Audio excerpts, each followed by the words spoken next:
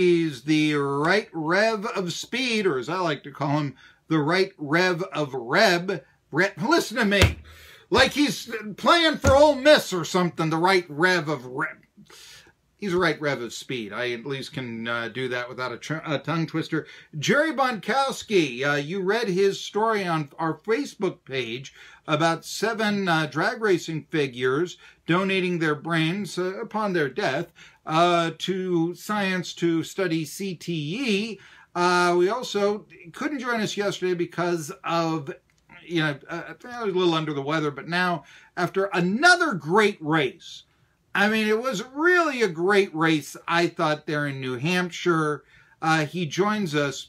Jerry, it's always nice to hear. First, I want to talk to you a little bit about your story on uh, the drag on the drag racers and uh, CTE. What kind of feedback have you gotten? I know you thought it was going to be real big, but yeah, what kind of feedback have you received from your story that you can read on our 1420 NBC Sports Radio Tri Cities Facebook page?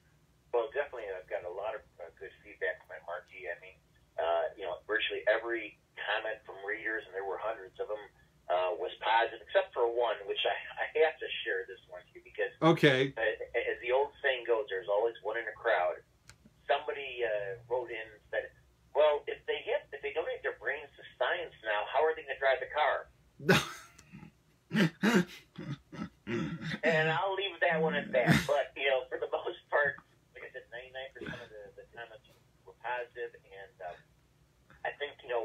It, I mean, it wasn't my story. It was what you know these eight individuals, you know, Don Schumacher and his mm-hmm. seven drivers did. I mean, that's that's huge. You know, you've never seen a, uh, an effort like of this magnitude. I mean, we've seen a number of individual athletes from various sports, like Dale Earnhardt Jr., several NFL players. They've mm-hmm. all, uh, you know, uh, pledged to donate their brains to science after they pass away. But to have an entire team, I mean, the team owner and the seven drivers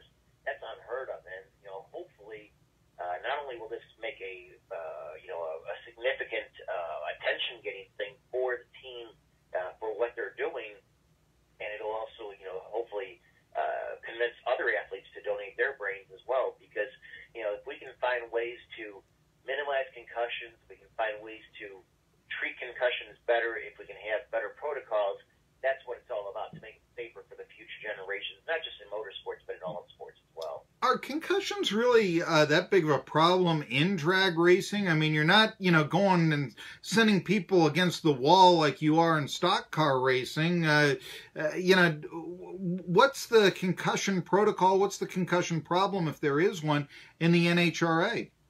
Well, that's the interesting thing because, you know, we've seen, like, for example, Dale Earnhardt Jr., how many concussions did he have? I think he had two or three in his career uh, at least.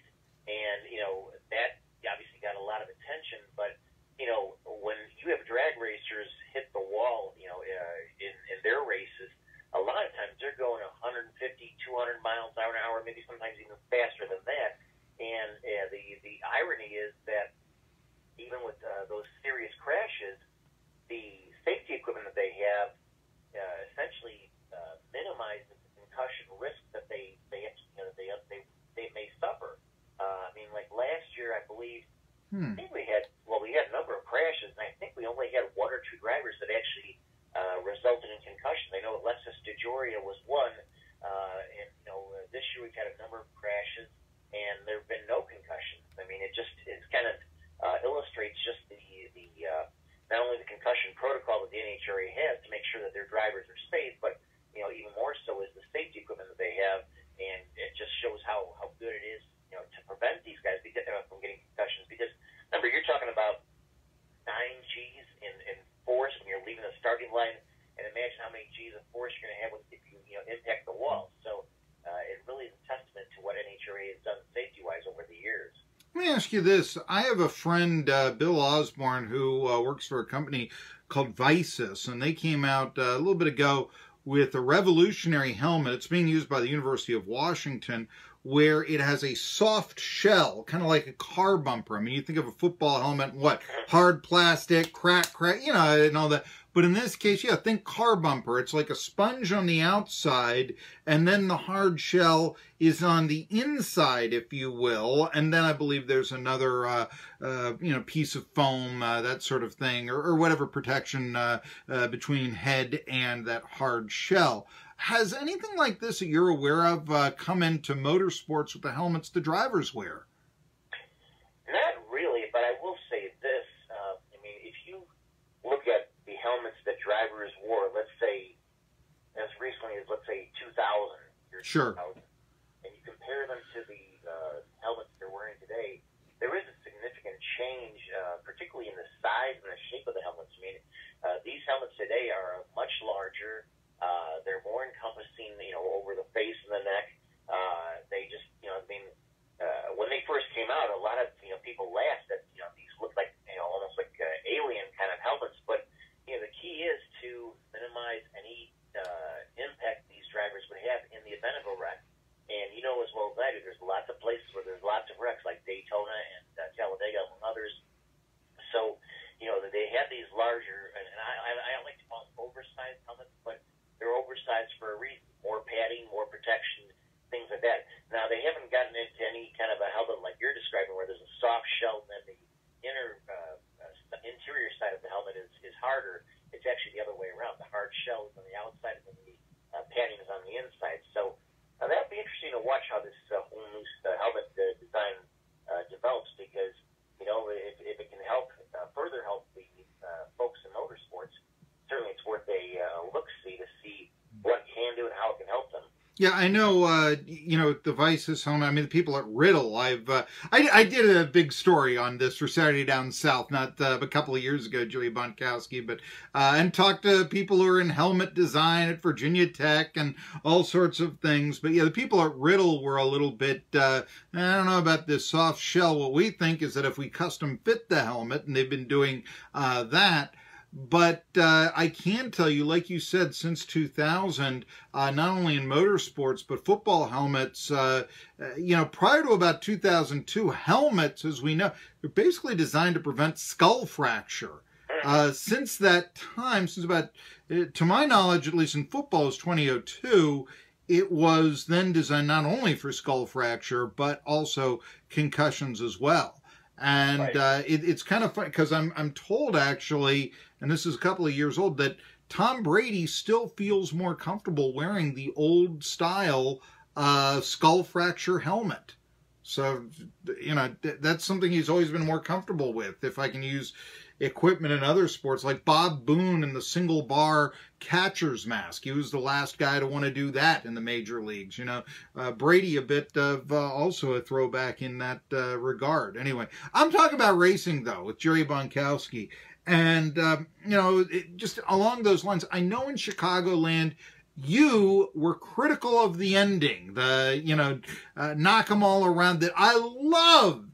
Well, you had a little of that with Harvick and Busch uh, with seven laps to go in New Hampshire. Did you still feel the same way of this just isn't safe, or was it just old fashioned, uh, you know, racing on a track in, in stock car racing to you? How'd you take uh, how Harvick overcame Busch to take the lead?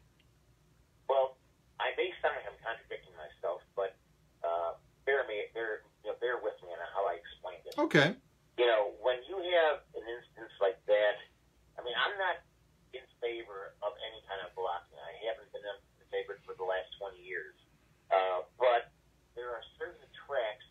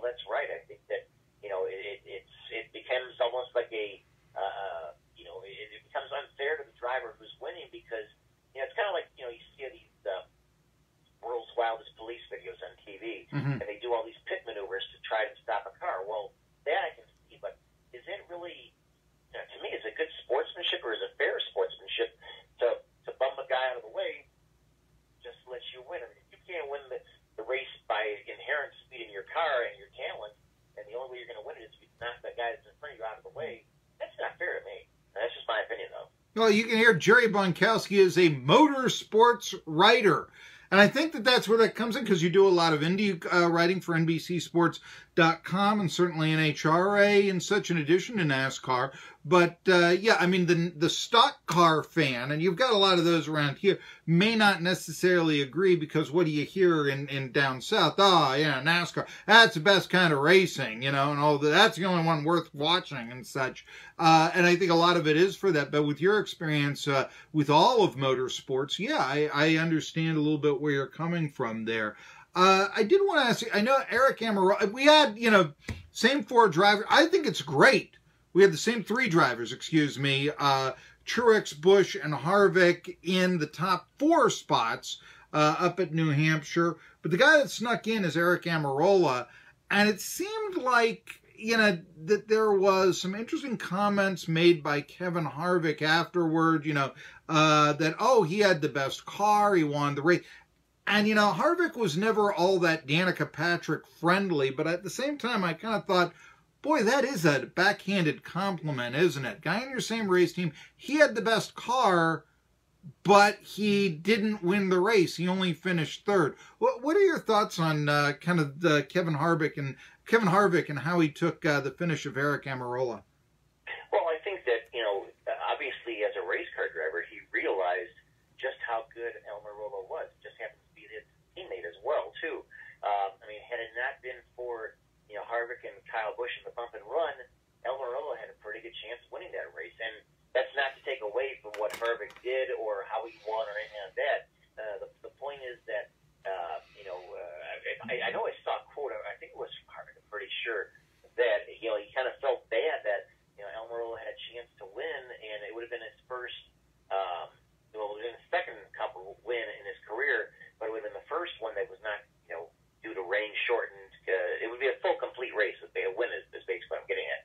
So I mean, you know, he realized that uh, even though he didn't have the best car, he did wind up winning. But you know, he gave credit and props to his teammate because he did have the best car, and you know, had it not been for you know circumstances, he may have been in victory lane as opposed to Kevin Harvick. So I thought it was actually pretty classy of Kevin to you know, to to tout what his his uh, his teammate did, and you know how he came so close. And you know, if if, if he does, doesn't win this week, maybe next week Aric Almirola will win. Never know. I mean, it's, it's showing that you know he's getting more uh, acclimated, more more familiar, and more uh, at home. I guess you would say in Stewart Haas Racing, and that's a good sign for him. It's a good sign for his sponsor. It's a good sign for the organization as well too.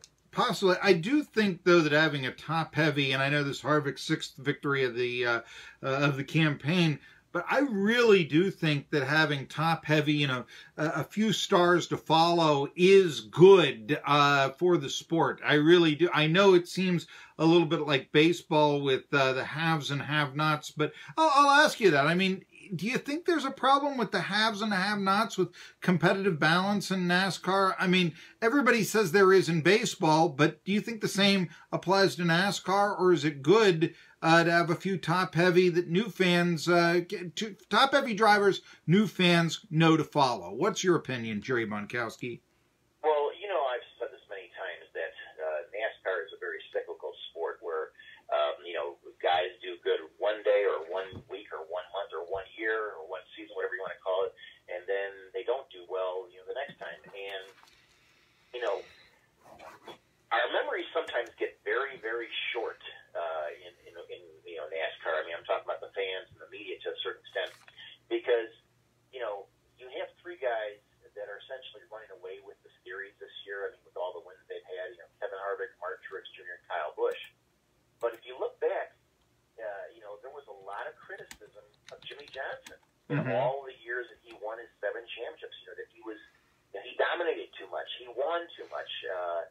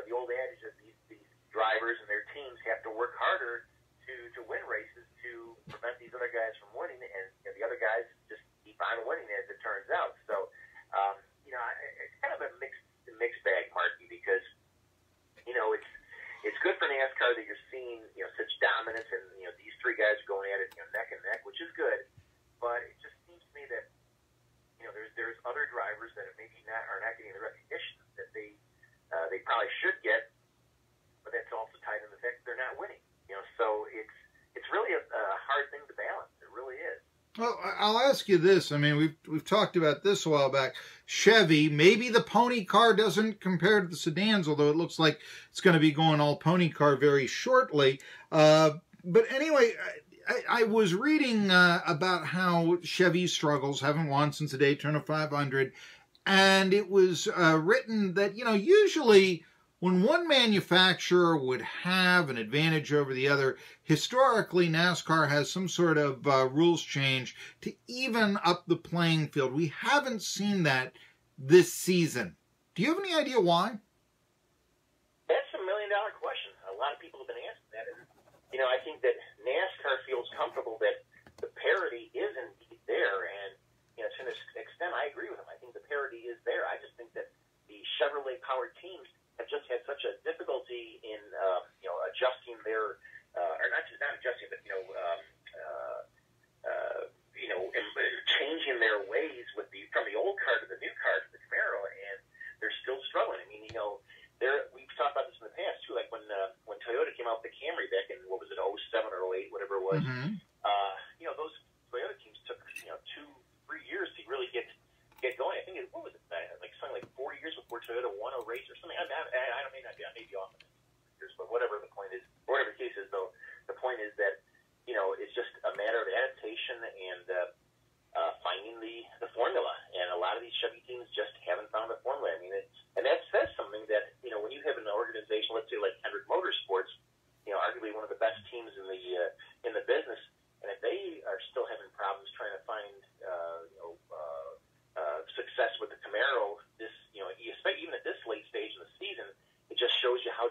is to to to, uh, to a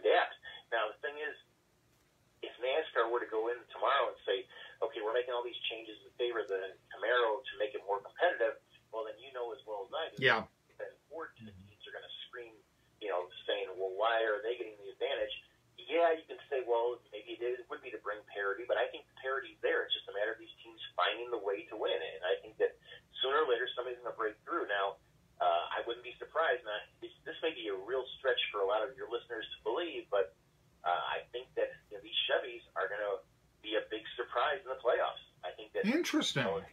What's that? Interesting, I just said. Yeah, Chevy's yeah, a big I, surprise in the playoffs. Go ahead.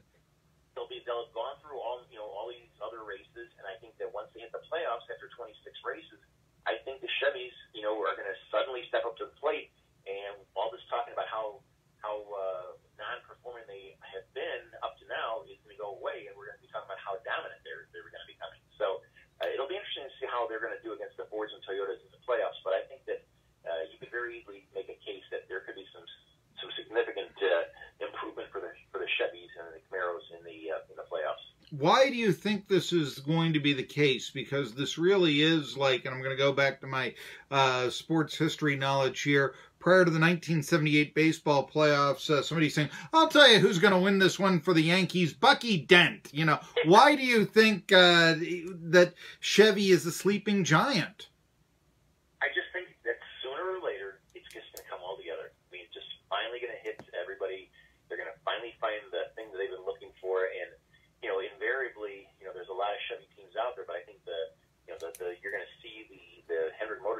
probably lead the way. And once they break through that